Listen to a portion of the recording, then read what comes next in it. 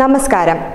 ഇരട്ട ശ്രീകോവിലുകൾ പ്രതിഷ്ഠ ശിവനും വിഷ്ണുവും വളരുന്ന സ്വയംഭൂശിലയായ തിരുനെട്ടൂരപ്പൻ അത്ഭുതമാണ്. എറണാകുളംകാർക്ക് പ്രത്യേകിച്ചൊരു മുഖവരയുടെ ആവശ്യമില്ല തിരുനെട്ടൂരപ്പനെ കുറിച്ച് പറയുമ്പോൾ.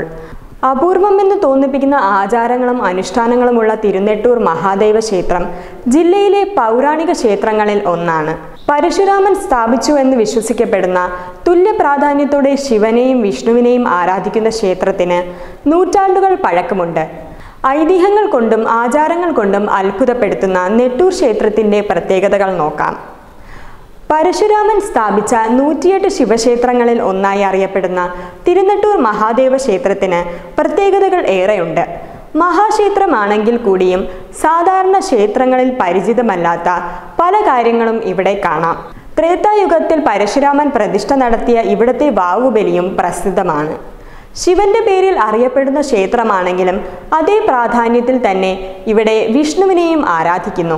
എന്നാൽ ശിവനും വിഷ്ണുവിനും രണ്ട് പ്രത്യേക കോവിലുകളാണ് ഇവിടെയുള്ളത് രണ്ട് പ്രതിഷ്ഠകൾക്കുമായി വെവ്വേറെ കൊടിമരങ്ങളും ബലിക്കൽ പുരകളും പൂജാ കാര്യങ്ങൾക്കായി രണ്ടു തന്ത്രിമാരും ഇവിടെയുണ്ട് അർദ്ധനാരീശ്വര സങ്കല്പത്തിൽ പ്രതിഷ്ഠിക്കപ്പെട്ടിരിക്കുന്ന ശിവസ്വരൂപം കിഴക്ക് ദിശയിലേക്കാണ് ദർശനമുള്ളത്.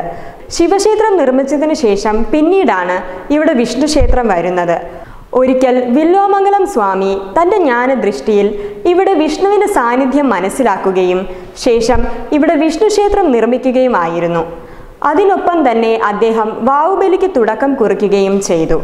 ഏകദേശം അഞ്ചര ഏക്കറോളം സ്ഥലത്തായി മഹാക്ഷേത്രത്തിനു വേണ്ട രൂപത്തിലും ഭാവത്തിലുമാണ് ഈ ക്ഷേത്രം നിർമ്മിച്ചിരിക്കുന്നത്. ഒറ്റ മതിൽക്കെട്ടിനുള്ളിൽ കാണുന്ന രണ്ട് ശ്രീകോവിലുകളും രണ്ട് ബലിക്കൽ പുരകളും രണ്ട് കൊടിമരങ്ങളും തന്നെയാണ് ക്ഷേത്രത്തിന്റെ പ്രത്യേകതയും ആകർഷണവും.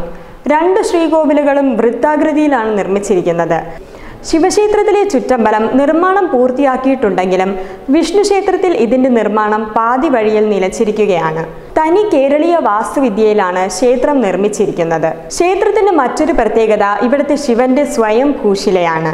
ശ്രീകോവിലിന്റെ വടക്കുകിഴക്ക് ഭാഗത്താണ് ഈ ശില കാണുവാൻ സാധിക്കുക.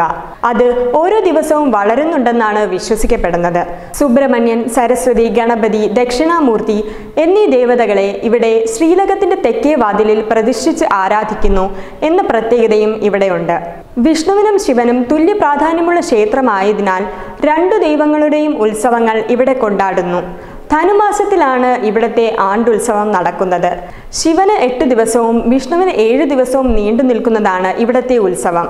ശിവരാത്രിയും അഷ്ടമി രോഹിണിയും വലിയ രീതിയിൽ ഇവിടെ കൊണ്ടാടുന്നു. വെബ് ഡെസ്ക് തത്വമേ ന്യൂസ്.